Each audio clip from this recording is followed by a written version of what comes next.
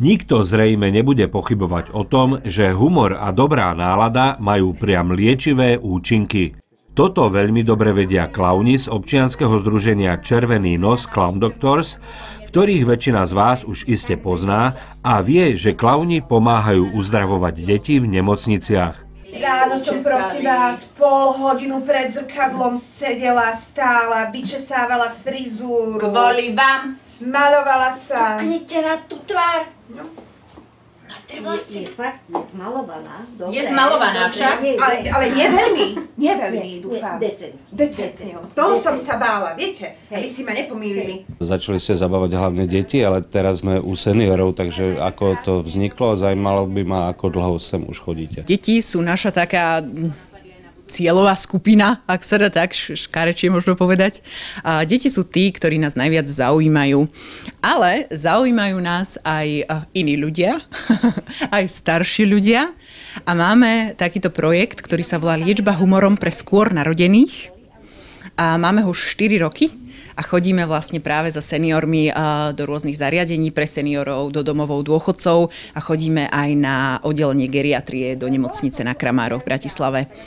A myslíme si, že je to dôležité presne z takého istého dôvodu, ako je to u tých detí, a narušiť im nejaký taký bežný denný stereotyp, priniesť humor, priniesť nejakú vtipnú situáciu, priniesť hudbu, pretože to, že majú nad 60, 70, 80, 90 rokov, neznamená, že stratili zmysel pre humor a že teraz už treba len čakať na niečo definitívne, to v žiadnom prípade. Ale práve za seniormi chodíme veľmi radi, a máme krásne reakcie na to, že tam chodíme. A veľa pracujeme s hudbou, ale nie je to len o tom, že by sme vyhrávali pesničky od jednej k druhej. Ako je to veľmi príjemné, ale snažíme sa takým svojím spôsobom aj aktivizovať pamäť, aktivizovať uh, rozum a nejako im prinášať nové podnety, nové uh, napríklad rekvizity, nejaké veci, s ktorými oni sa už vlastne bežne nestretnú. My sme si zaumienili, že túto nedeľu uvaríme špeciálnu polievku. Žiadna slepačia, žiadna hovedzia. Jaká? Pávia! Pávia? No, Ste už mali takedy páviu polievku? Ani my nie. no ani my nie. A povedali sme si, že prišiel ten čas. Pani riaditeľka, čo priniesli zdravotní klauni do vášho zariadenia? Zdravotní klauni do nášho zariadenia priniesli úsmev, radosť, smiech. Nielen pre klientov, ale aj pre zamestnancov. A ako došlo k tej vašej spolupráci vzájomnej? Úplne neuveriteľným spôsobom. Zdravotných klandov sme poznali z nemocníc, zo zdravotníckých zariadení, ale nikdy sme nepočuli, že zdravotní klauni by chodili do zariadenia k seniorom. Jedna naša obyvateľka sa opýtala, či by sme si si nemohli pozvať a naša pani psychologička ich oslovila a oni k nám prišli raz na návštevu. Takže to bolo prvý raz, čo zdravotní klauni vlastne navštívili seniorov? Bolo to prvýkrát, čo u nás navštívili seniorov a tá spolupráca sa tak veľmi dobre osvedčila, že zdravotní klauni nám teraz momentálne chodia raz do mesiaca, alebo respektíve dvakrát do mesiaca. A e, aký prínos to má pre vašich seniorov, ako na to reagujú? Sú úplne úžasní, naši seniori sa tešia, e, prináša im to radosť, nádej, úsmev. Keď si predstavíme, že niektorí naši seniori neboli vonku rok, dva, tri, e, nestretávajú sa s cudzími vnemi, je to niečo pre nich výnimočné, o čom môžu dlhodobo zase rozprávať a čo si oni aj vnútorne sami prežívajú potom v sebe. Vy tak neformálne viete do- doniesť človeku radosť. A to je dôležité, že to vychádza z vás. okay? You may V Dome kultúry Dúbravka vo štvrtok 27. novembra poriadala Dúbravská knižnica besedu s básnikom, spisovateľom a textárom Kamilom Peterajom a maliarom, grafikom a ilustrátorom Martinom Augustínom. Kamil Peteraj nám predstavil svoju najnovšiu knihu nazvanú Milujte sa s láskou, ale i ostatné básnické zbierky z posledného obdobia, ilustrované výtvarníkom Martinom Augustínom. Posledná je táto kniha, volá sa Milujte sa s láskou, ja ju takto aj otočím. A ona má také podtituly, že artforizmy, gregerie, texty, bon motta, teda nie bon moty, ale bon motta, poetizmy a iné. No a keď ju takto otvoríme, tú knihu, tak každý ľahko pochopí, že sú to takéto tieto tzv. artforizmy, gregery a tak ďalej, ktoré sú veľmi krásne upravené a sú to také vlastne, by som povedal, myšlienky, záznamy, postrehy na, vlastne na každú nejakú takú chvíľu, keď ste, keď ste trošku o samote, a stačí, keď si pozriete dve, tri strany a ono to sta- stačí, pretože je to ako také kališky, keby ste si dávali nejakého tuhého niečoho, hej. Taká úroda moja e, z, asi zo všetkých kníh, ktoré som vydal, volá sa Toto je moja reč, je to dosť také typické v podstate, hej, že toto je tá moja reč. A tu je vlastne taký výber viacerých, teda vlastne dá sa povedať všetkých mojich básnických kníh, teda nie textov, ale básnických kníh. No a túto knihu, a naozaj musím použiť také tie, tie, tie veľké slova, fantastickým, naozaj nádherným spôsobom ilustroval pán Martin Augustín. Mohli by sme v krátkosti predstaviť knižky Kamila Peteraja, na ktorých ste sa podielali ako ilustrátor? Táto spolupráca začala v roku 2008, keď nás eh, vydavateľstvo IKAR akoby dalo dokopy. Mňa ako ilustrátora eh, z knižky Kamila Petra Toto je moja reč, bola to taká zbierka jeho e, básní a priznám sa, že naozaj sa ma e, tá knižka, keď som ju dostal do ruky, velice dotkla. E, bolo to trošku také hektické obdobie a vlastne od toho aj momentu, mimo toho, že sme spolu začali robiť takú akoby dlhoročnejšiu spoluprácu, vzniklo aj priateľstvo a taký, taký veľmi fajn vzťah, e, ktorý potom pokračoval v ďalších, ďalšej práci, v ďalších knižkách, e, grafických listoch, e, v obrazoch, v textoch, vpísaných do obrazoch. A, a vyslovene to asi aj trošku nasmerovalo moju prácu iným smerom, než som pôvodne zamýšľal. Nasledovala neformálna diskusia s návštevníkmi besedy nielen o poézii, textárskej tvorbe, slovenskej pop music, ale aj o živote a spoločensky aktuálnych témach. Obaja protagonisti divákom zarecitovali ukážky z básnickej tvorby Kamila Peteraja. Bože, Bože, Bože, padnú nebesá, ale kedy, kedy ešte nevie sa. Bože, Bože, Bože, padnú na hlavu, Nestačí, že mám ju aj tak boľavú. Vidím si tú knižočku aj kvôli tomu, že zatiaľ nemám už poézie, kruh milovníkov poézie, to mám dobre, dobre, teda A dcera recitovala aj ja, amatérsky. Konečne... Aj ja? Pardon? Vy ste na mňa mysleli, to ste veľmi milá, ďakujem vám pekne.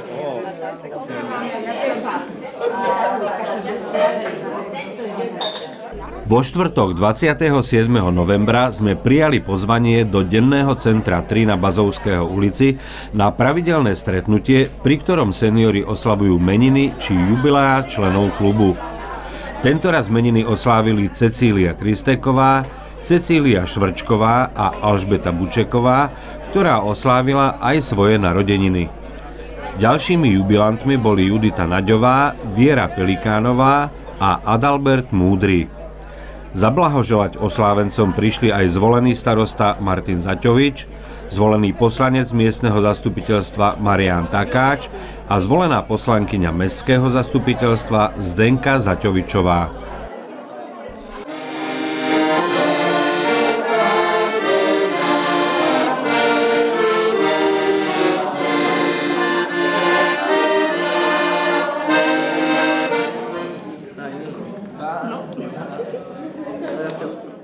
Útorok 2. novembra sa na základnej škole Nejedlého zišli žiaci zo 7 základných škôl 4. obvodu, aby si zmerali svoje vedomosti v geograficko-dejepisnej súťaži Žijeme v Európe. Okrem štyroch základných škôl v zriadovateľskej pôsobnosti našej mestskej časti sa súťaže zúčastnili aj Spojená škola Dolinského, Základná škola Karloveská a Základná škola na Malokarpatskom námestí v Devínskej Novej Vsi. V porote zasadli známe osobnosti Dúbravky a priaznivci školy, bývalý reprezentačný hráč a tréner hádzanej Tomáš Kuďka, bývalá reprezentantka v hádzanej Jana Kuďková, bývalý reprezentant vo volejbale Pavel Šenk, bývalý futbalový reprezentant Anton Urban, ekonóm Jan Pifl a predsedníčka miestneho odboru Matice Slovenskej Kveta Slišková. Naša škola organizuje okrem športových súťaží, kultúrnych súťaží aj vedomostnú súťaž. Dnes sa na našej škole uskutočnila vedomostná súťaž s názvom Žijeme v Európe. Cieľom vlastne súťaže bola zameraná na prežiakov druhého stupňa základnej školy. Čiže cieľová skupina bolo nižšie stredné vzdelanie a celá, celé otázky boli tak formulované, že deti boli skúšané z vedomostí a z obsahu výkonového štandardu zo vzdelávacej oblasti človek a spoločnosť. Celé, celá tá súťaž pozostávala z piatich kôl.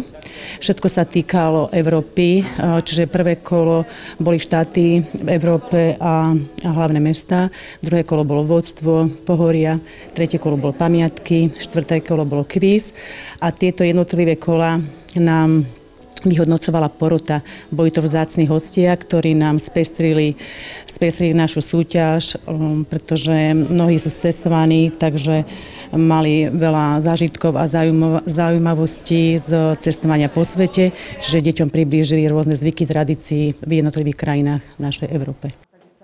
Výkony jednotlivých družstiev boli podľa vyjadrenia poroty síce vyrovnané, no rozdiely v súčte bodov napokon určili poradie nasledovne. Na 7. mieste skončila základná škola pri Kríži, 6. miesto sa ušlo základnej škole na Malokarpatskom námestí v Devínskej Novej Vsi, 5. miesto uhájilo družstvo základnej školy Beňovského, Pomyselnú zemiakovú medailu za štvrté miesto si odniesli žiaci Dúbravskej spojenej školy Dolinského. Na tretie miesto dosiahlo družstvo zo základnej školy Sokolíkova. Druhé miesto získali chlapci zo základnej školy Karloveská, no vzhľadom na to, že išlo len o piatakov a boli teda o 3 až 4 roky mladší ako ostatní, sa jedná o obrovský úspech tejto školy. No a víťazom súťaže Žijeme v Európe sa stala domáca základná škola Nejedlého.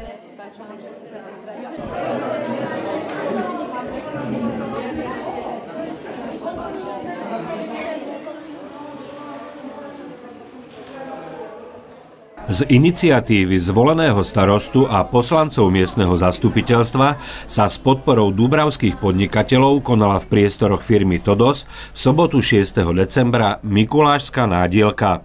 Organizátori pripravili skutočne bohatý program.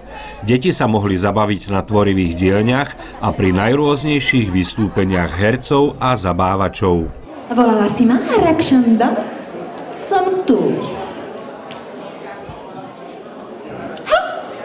Si, ako vie, že sa volám Rakšanda? Som Belial? A kto som? Ty nevieš, kto som? Neviem, neviem, kto si. No tak ja sa vás všetkých opýtam, kto som a nahlas? Počula si? Deťom aj rodičom sa v tvárach odzrkadlovala spokojnosť a tak veríme, že v budúcnosti sa môžu Dúbravčania tešiť na podobne vydarené podujatia. Nachádzame sa v Todose, teda predpokladám, že ste hlavným organizátorom dnešného e, Mikulášského večierka. Pokoľký raz ho organizujete? Čo Mikuláš organizujeme po prvýkrát, aj keď nenazval by som sa hlavným organizátorom tohto podujatia, nakoľko sme ako novozvolení poslanci a, novozvolení starosta mali pocit, že Dubravka si zaslúži, Dubravčania si zaslúžia Mikuláša, tak sme oslovili niekoľko spoločností a toto z Bratislava nám vyšiel v ústredy, poskytol nám priestory a marketingové oddelenie a nakoniec to bola krásna akcia. Určite chceme aj do budúcna spolupracovať s dubravskými podnikateľmi, jednak oni to využijú na svoju reklamu a urobí sa naozaj niečo pre Dubravčanov a nestojí nás to takmer nič tak ja osobne hodnotím e, túto Mikulášskú udalosť veľmi pozitívne. Je úžasné, že sa súkromné firmy e, nejakým spôsobom dohodli zorganizovať e, takúto Mikulášskú akciu pre dubravské deti a pre dubravské rodiny. Sme svedkami, že teda skutočne veľa rodín prišlo s veľa deťmi, takže má to váhu. Prvýkrát to klaplo, vyšlo to a o tom to je, že tí Dubravčania prišli sa presvedčiť, že dá sa to prišiel aj Mikuláš Čert, eh, malo to eh, patričné prvky, akcie, ktoré sú potrebné pri tejto akcii, takže v tohto pohľadu to klaplo, je to úžasná vec. a budeme sa snažiť aj do budúcna sa nejakým spôsobom prezentovať a verejnosti ukázať, že áno, sme tu, budeme nejaké akcie v budúcnosti organizovať, bude to pre verejnosť, tá verejnosť bude mať možnosť zúčastniť sa týchto udalostí spoločenských, takže radi ich, ich uvítame, keď teda sa pripoja a budú nás prevádzať pri týchto, pri týchto udalostiach. Aké si vy odnášate pocity z dnešnej akcie, ktorá sa mi zdá byť e, veľmi vydarená? Tak ja si odnášam veľmi príjemné. Také, v podstate si myslím, že veľmi, veľmi pekne je to tu zorganizované som veľmi rád, že veľmi veľa Dubravčanov sem prišlo a pevne verím, že takéto akcie budeme organizovať každý rok. Samozrejme máme pripravené aj iné akcie, v ktorých budeme teda pokračovať. Pán Zaťovič, aké si odnášate pocity z dnešného Mikulášskeho večierku? Bola to veľmi pekná akcia. Ďakujem firme, ktorá nám pomohla túto akciu organizovať. My sme tak začali vlastne ešte pred voľbami, bolo šarkaniáda, bol lampový sprievod a chceli sme tom pokračovať, aj pokračujeme. Prvá lastovička bol tento Mikuláš a verím v ďalších rokoch v ďalšom roku budem za to pokračovať v akciách a budú akcie, či MDD, či opäť Mikuláš. Naozaj vydarená akcia.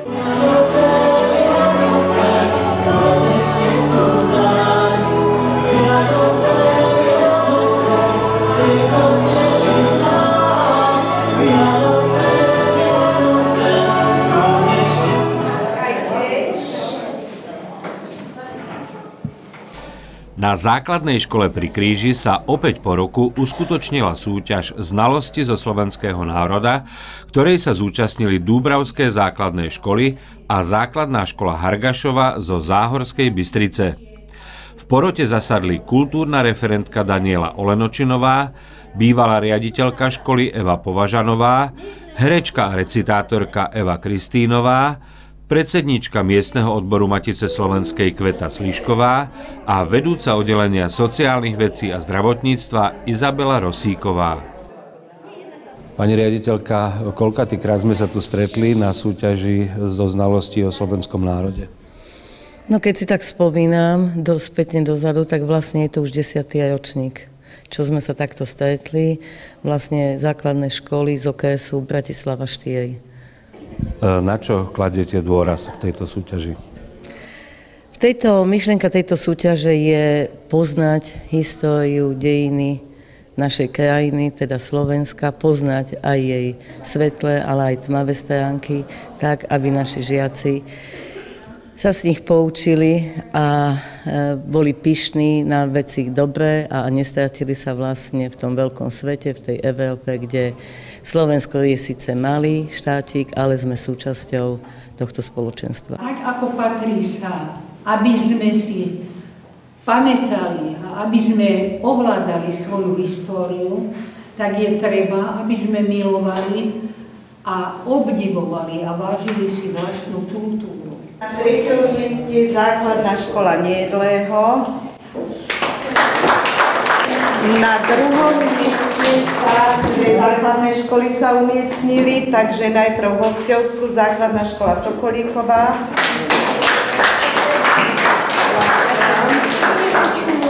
A základná škola pri Kríži.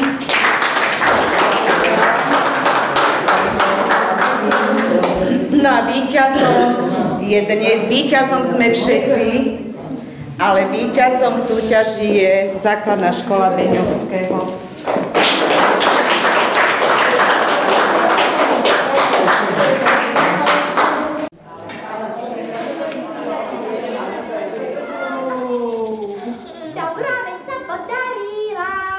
Dom kultúry Dúbravka v nedelu 7. decembra, tak ako každý rok, pripravil pre dúbravské deti Mikulášskú nádielku. No predtým, ako prišiel samotný Mikuláš, si deti spolu s rodičmi pozreli milé predstavenie Škola anielov v podaní divadla Jaky. Jaj, to je hrozné.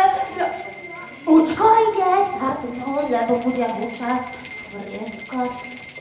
Hodina prvá sadnúť. No. Pani riaditeľka, čo priniesol Mikuláš e, tento rok e, do Domu kultúry? No samozrejme detské predstavenie, tak ako každý rok s krásnym anielikom a ešte krajším a štedrejším Mikulášom. No ale to, či boli deti dobré a či poslúchali a či si naozaj zaslúžili tú Mikulášskú nádielku, musí posúdiť Mikuláš. Tak čo? Aké to bolo? No, deti boli fantastické a krásne rozprávali básničky a pesničky a tie mi veľmi pomohli, aby som sa vlastne sem dostal, lebo som trochu zablúdil cestou sem. A presne tak. A anielik tuto môj krásny, on vie všetko krásne vyriešiť a vybaviť a potom ja už len prídem a vidím tie krásne, dobré detičky. No ale ja som strašne rada, že ste tráfili do Dubravky za dubravskými detičkami a dúfam, že sa takto v takomto počte a v takejto dobrej nálade stretneme aj na budúci rok.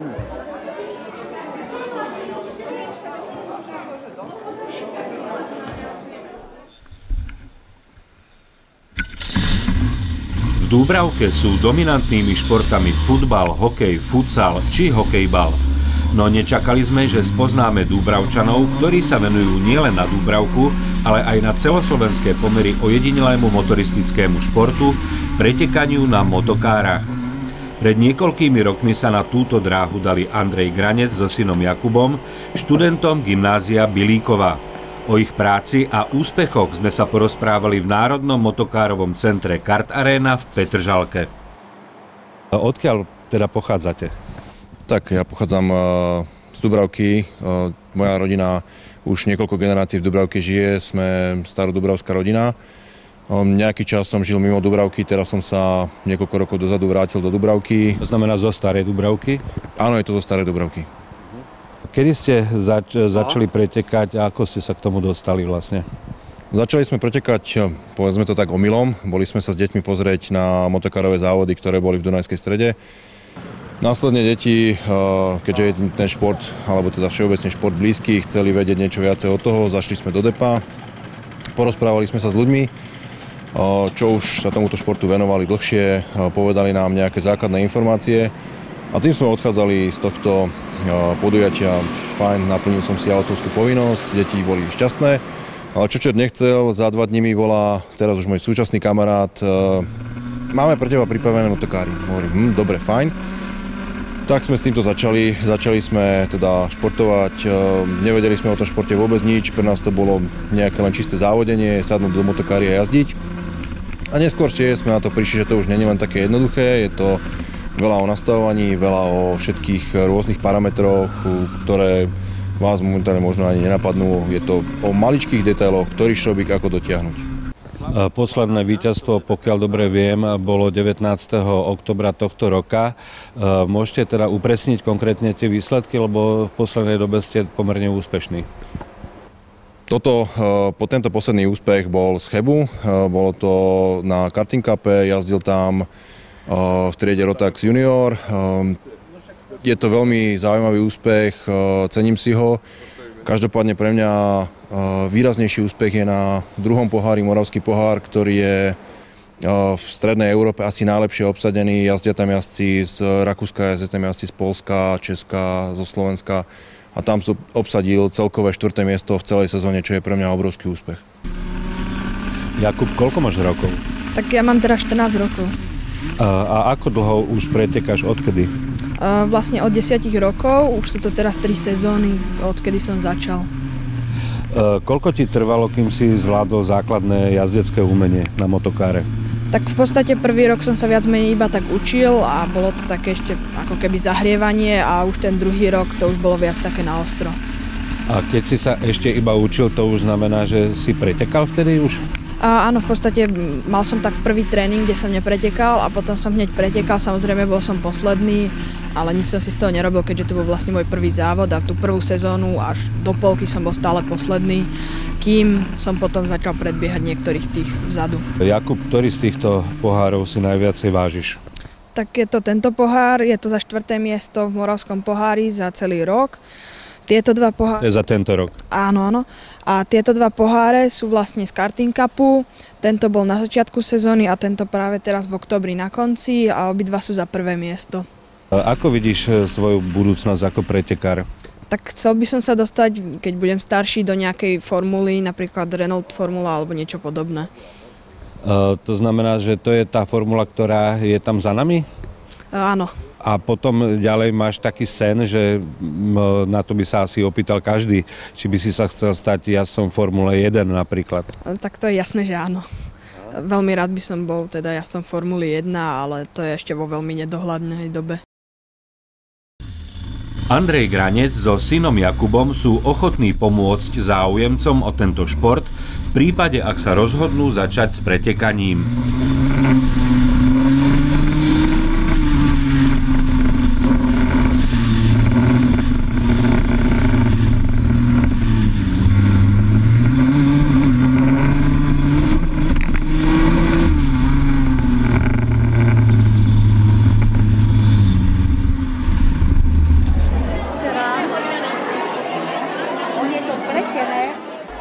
Minulý týždeň nás pozvali deti zo základnej školy pri Kríži na Vianočné trhy. Ukázali nám množstvo krásnych výrobkov, ktoré si kupovali predovšetkým ich rodičia. Nabitá jedáleň a foaje školy boli dôkazom toho, že Vianočné trhy sa opäť, tak ako aj po minulé roky, mimoriadne vydarili. Čo predávaš? Všeličo.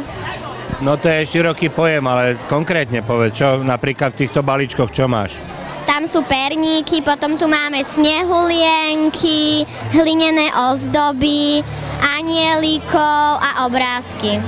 A to si vyrábala sama s kamarátkou? Um, no, tieto hlinené ozdoby sme robili my, aj tých anielikov, ale všetko ostatné, aj perníky sme piekli, ale všetko ostatné vyrábali na, na pani učiteľka a pani vychovávateľka. Detičky sami malovali. Na tieto krásne obrázky, posledné tri nám ostali, malovali detičky.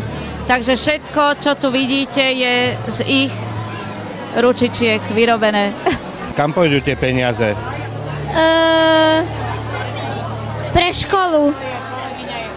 Pre školu? Ja som myslel, že vy si za to niečo kúpite. Nie. By ma zaujímalo, čo to pekné máš v tých flašiach. Um, tam sme dávali suroviny, uh, ktoré sme si sami doniesli do školy. A to je vlastne taká fľaša na ozdobu? Áno. A vidím, že euro 50 predávaš, nie je to málo? Um, no, nikto nekupuje, čiže musíme dať menšiu cenu. Vidím, že tu máš nejaké medové sviečky, tie to e, akože sa dá jesť, alebo čo to znamená? No, to sa nedá jesť, ale to je vlastne z včiel, to sú také medové, no z medu od včiel a z vosku, s takou príchuťou medu. A čo ešte predávate? Um, no, mydlo, potom tuto máme koláčiky a tak. Takéto tieto keksiky a také. A svietníky ešte máme. Dobre, ide vám to na odbyt? Prosím? Či vám to ide na odbyt? Hej, celkom aj hej. To ste chalani piekli sami? A, áno, doma. To sa mi ani nechce veriť. Ty varíš? No jasné, aj kolače pečiem. A kto ťa, kto ťa to naučil? Mamina. A teba to baví? No jasné. No výborne, dobre. A po, e, kamoši ti pomáhali spolužiaci? Uh, no, my sme každý priekli sami doma. Ja som počul, že aj tu v kuchyňke ste piekli. Áno, uh, také kolače, ale tie už sa vypredali. Aha, takže asi dobre varíš, keď to ide na odbyt. Áno.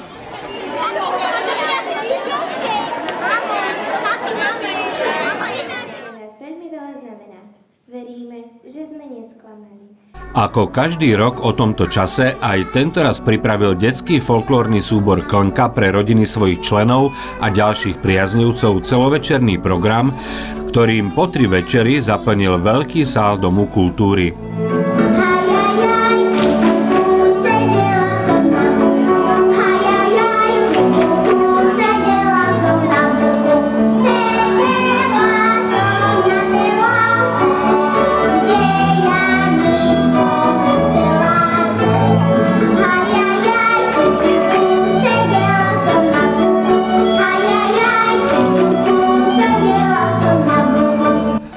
Pani Sanková, máte za sebou, predpokladom, ako každý rok náročnú sezónu. Aká bola e, táto sezóna? Tak opäť bola pestrá, mali sme veľmi veľa vystúpení, potešili sme divákov na Záhory, na Zamaguri, v Polsku, Česku a potom sme boli na festivale v Čiernej hore. Mali sme krásne projekty s Lučnicou, Lučnica a deti a potom zvlášť iba s Lučnicou, kde sme vystupovali spolu detvianské tance. Takže naozaj veľmi veľa vystúpení a dneska vlastne završujeme sezónu. Eh, aký bude dva, váš dnešný repertoár? Tak e, prvá polovica programu budú slovenské tance z rôznych regiónov a druhá polka sú írske tance v novom odeve s novými muzikami a ešte s malým prekvapením na záver. Nechali sme sa inšpirovať balkánskymi a cigánskymi tancami, takže taký mix na záver.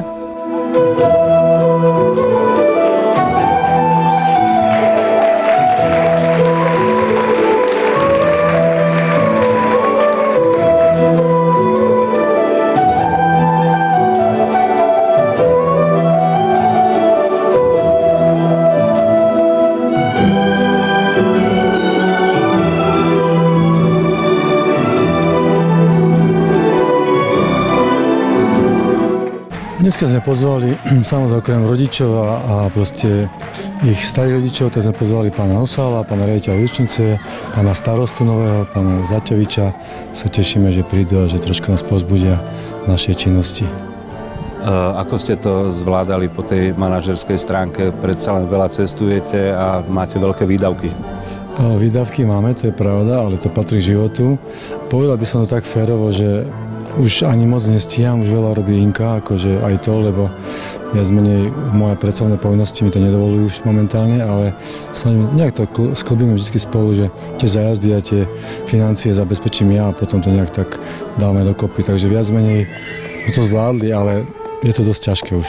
A treba som... povedať aj to, že veľa pomáhajú rodičia. Naozaj tie cesty podporujú, pretože festivaly sú o tom, že vy cestujete, ukážete, spoznávate kultúru a v podstate tie cesty si musíte hradiť vždy sami.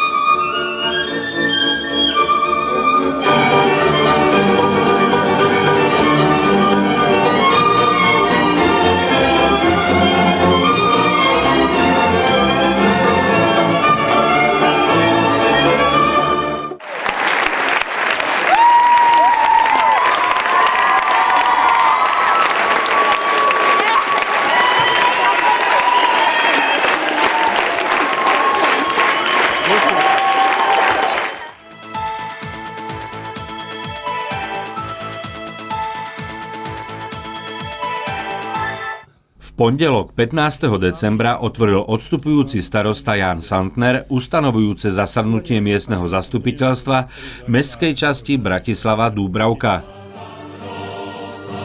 Na úvod zasadnutia si všetci prítomní vypočuli štátnu hymnu.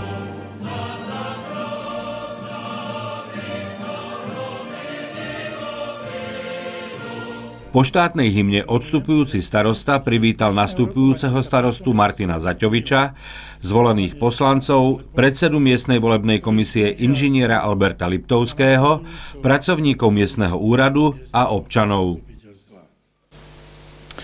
Teraz by som požiadal pána predsedu miestnej volebnej komisie, pána inžiniera Liptovského, aby predniesol správu o výsledku volieb do orgánov samozprávy Mestskej časti Bratislava Dubravka ktoré sa uskutočnili dňa 15.11.2014. Vážený prítomný, ako zvolený predseda miestnej volebnej komisie som poverený oznámiť vám výsledky volieb na starostu a poslancov v mestskej časti Bratislava Dubravka. V štyroch volebných obvodoch sa volilo 25 poslancov z celkovo 61 kandidátov. Na funkciu starostu kandidovali dvaja kandidáti. Podľa zápisnice, ktorú spracovala naša miestna volebná komisia, boli pre jednotlivých kandidátov odovzdané hlasy nasledovne. Z celkového počtu 32 022 voličov zapísaných do voličských zoznamov bolo odovzdaných 9779 platných hlasovacích lístkov pre kandidátov na funkciu poslanca miestneho zastupiteľstva a 10 550 platných hlasovacích lístkov na funkciu starostu. Na komunálnych voľbách sa zúčastnilo 33,95 stotiny percenta voličov.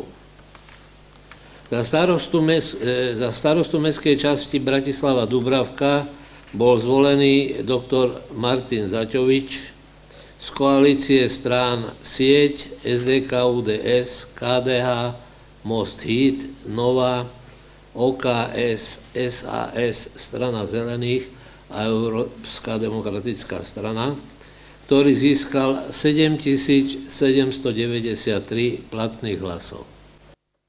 Zo správy o výsledkoch volieb do orgánov samozprávy Mestskej časti Bratislava Dúbravka predseda miestnej volebnej komisie inžinier Albert Liptovský ďalej predniesol výsledky voľby všetkých poslancov. Zo správy vyplýva, že 23 z 25 poslancov bolo zvolených za koalíciu sieť SDK UDS, KDH, Most Heat, Nova, OKS, SAS a Strana zelených. Jeden poslanec bol zvolený za koalíciu Smer SD, SNS, Strana zelených Slovenska a SMS. A jeden poslanec, ktorý kandidoval a bol zvolený ako nezávislý. Vážení prítomní, v mene miestnej volebnej komisii želám novozvoleným poslancom a novozvolenému starostovi veľa osobných i pracovných úspechov, zdravia, a poslaneckého nadšenia pri riešení úloh a problémov, ktoré ich čakajú v každodennom živote mestskej časti Bratislava Dubravka. Takisto chcem poďakovať odchádzajúcemu starostovi za všetko dobré, čo pre Dubravku spravil. Podľa zákona o obecnom zriadení funkčné obdobie novozvoleného starostu a novozvolených poslancov miestneho zastupiteľstva vzniká zložením zákonom predpísaného slubu, Novozvolený starosta skladá slub do rúk mojich, teda do zatiaľ ešte súčasného starostu. Ďakujem.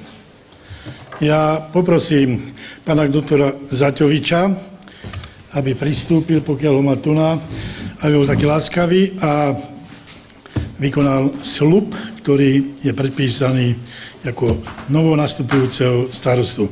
Nech sa páči, aby ho aj potvrdil svojim podpisom a poprosím pritom, aby ešte aj všetci prítomní poslanci povstali a vstali.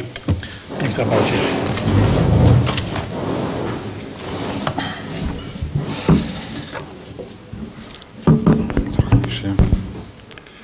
Slub starostu Mestskej časti Bratislava Dubravka.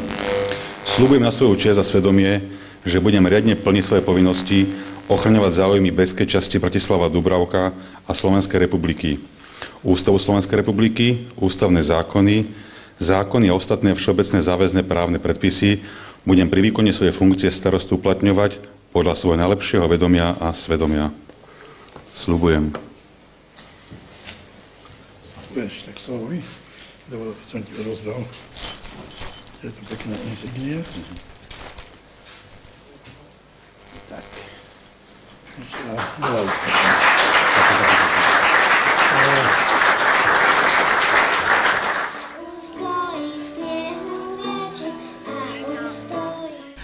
Na stredu večer pozvali starosta Dúbravky Martin Zaťovič a noví poslanci miestneho zastupiteľstva všetkých Dúbravčanov na starostovskú Vianočnú kapusnicu pred Dom kultúry, ktorí v spolupráci so základnou umeleckou školou Eugena Suchoňa pripravili veľmi pekný sprievodný program.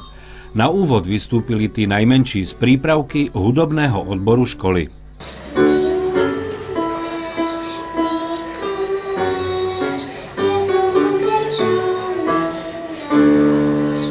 Presunuli sme sa z nedávnych e, politických e, záležitostí, ako boli voľby, prvé miestne zastupiteľstvo niečomu, e, čo je ľuďom možno trošku bližšie.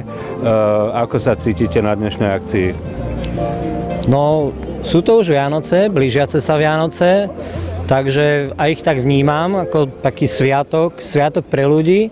Prvýkrát v mojom eh, živote už ich ale teda vnímam aj tak trošku politicky, ale stále prevažuje to ľudské a preto sme sa tu aj zišli, preto sme aj tých ľudí pozvali, aby si tí ľudia zvykli, že teda nie sme politici len raz za 4 roky, ako je v tejto krajine zvykom, ale že chceme pre tých ľudí urobiť aj nie ako predvolebnú kotešačku, ale takúto príjemnú zábavu.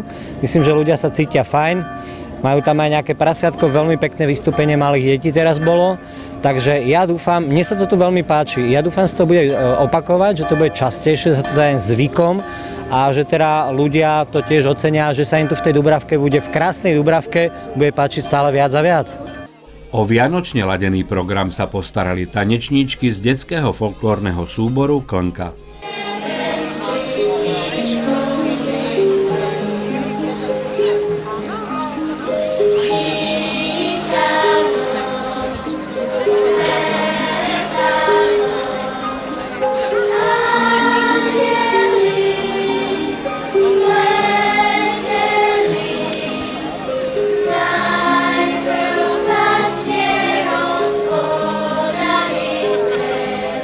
Pán Burkert, a vy ako vnímate Vianoce? No tak e, osobne vnímam Vianoce ako najväčší sviatok roka. Aj keď ma mrzí, že v poslednej dobe sa z Vianoc e, čoraz viac stáva skôr sviatok darčekov ako, ako Vianoce, tak možno dúfam, že nedôjde niekedy k premenovaniu tohto najväčšieho sviatku roka a Vždy, keď sú Vianoce, snažím sa predstaviť si, ako som prežíval Vianoce, keď som bol dieťa. Vtedy som, ho pre, e, vtedy som Vianoce prežíval o dosť intenzívnejšie. Snažím sa naladiť na tú vlnu, ale už sa mi to tak nedarí. A v súvislosti konkrétne s dneškom e, máme po voľbách po prvom miestnom zastupiteľstve. Myslím, že sa tu zišlo dosť obyvateľov Dubravky. No, som e, dosť prekvapený a k tej atmosfére, dobrej atmosfére, hádam chýba už len e, sneh. Speváci a hudobníci zo základnej umeleckej školy Eugena Suchoňa, ktorí ešte pred chvíľou vystupovali v kostole Ducha Svetého, sa presunuli pre Dom kultúry, aby aj tu potešili početné publikum, ktoré však neprišlo len za duchovnou potravou.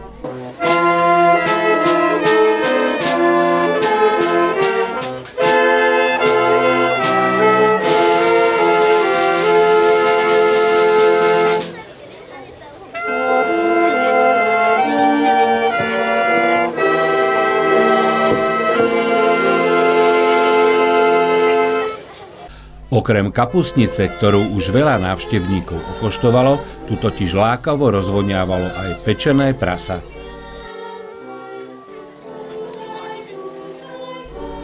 Prvú porciu z neho slávnostne odkrojil starosta Martin Zaťovič. Nech sa páči dobrú chuť, treba sa obstať do rady, ja si na banány, tak teraz na prasiatku, čiže poprosím na dobrú chuť. Páni, máte pocit, že sa podarilo prasiatko? Každopádne. Ešte mi potreboval chvíľočku, ale bude dobre. Uvidíme. A aké veľké bolo pôvodne? Koľko malo kilo? 100 kilo živej váhy. Stretli sme sa dneska na starostovskej kapustnici. E, prečo teda tá starostovská kapustnica dnes večer? Tak dnes večer preto, lebo sa blíže Vianoce a sme sa toto poďakovať ako poslanci a ako zvolený starosta všetkým obyvateľom Dubravky, že nám dali svoj hlas dôveru v voľbách. A je taká akcia Vianočná, ale nakoľko iná Vianočná akcia tento rok nebude, nestíha sa, kvôli tomu, že až teraz sme boli zvolení ako do miestnej samozprávy, tak okrem kapusne tu máme aj, je to prasiatko, tu je nejaké, deti vystupujú z Klnky, z už Batkova, na Suchoňa, naozaj krásne vystúpenia. Je taká akcia, ktorá bude každý rok pravidelná, nejakými vianočnými trhmi, je taký 0. ročník toho a je tu pomerne veľa ľudí, ak sa pozriete, a je to veľmi pekná akcia. Zdá sa, že podvečer sa vydaril, prišlo veľa ľudí. E, ako vnímate tento predvianočný čas?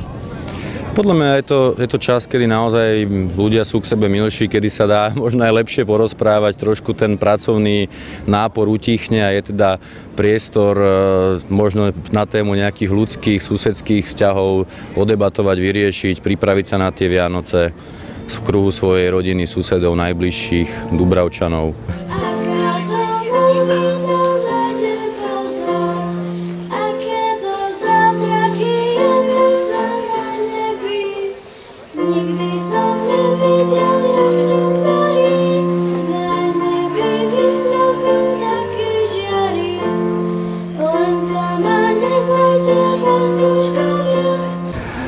Zdá sa, že starostovská, ale aj poslanecká kapusnica sa dnes podvečer vydarila, tak ako sa vám pozdáva situácia?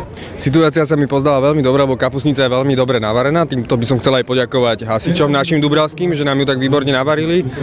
A sme veľmi radi, týmto gestom sme chceli vyjadriť Dubravčanom podporu, že nás ako podporili vo voľbách a že nám dali šancu ukázať, čo v nás je a, e, a dať dôveru v náš plán v Dubravke. A chcel by som ešte zapriať šťastné Vianoce.